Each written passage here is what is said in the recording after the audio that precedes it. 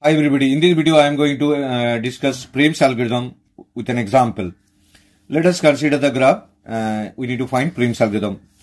Here the number of vertices, number of uh, vertices uh, equal to uh, 1, 2, 3, 4, 5.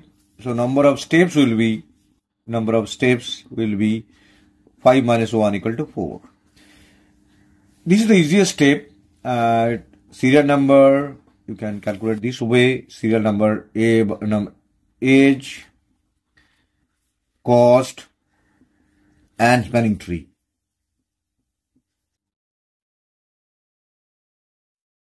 First of all we need to find the minimum cost from the uh, to all the edges of the graph. Here minimum is 1 serial number 1 is edge ab so select ab as the first edge Next, step 2.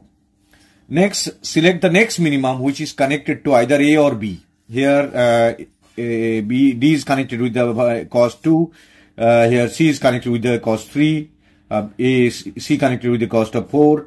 And here 7. So, among the all other remaining uh, vertices that are connected to either A or B is uh, D, which is minimum. That is, you select AD, which is minimum cost among all the other edges.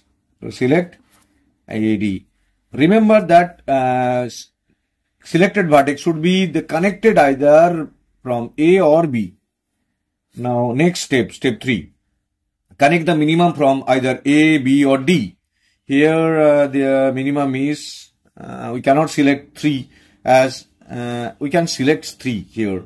We can select 3 that is BC, that is 3 a, B1, B, D2, and C here, 3. So this is the minimum one uh, from uh, A, B, D. Now, that's the next last step.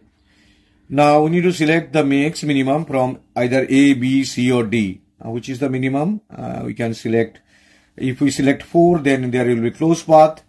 If we select 5 there then well, there will be close, close path. Then we can select uh, 5 that is the next minimum that is CE.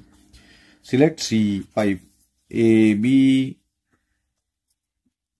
1 BC3 AD 2 and CE is 5 and this is the minimum cost spanning tree. Total cost is 1 plus 2 plus 3 plus 5 that is equal to uh, 3 3 11. Thank you very much for watching this video. Share and subscribe it. Thank you.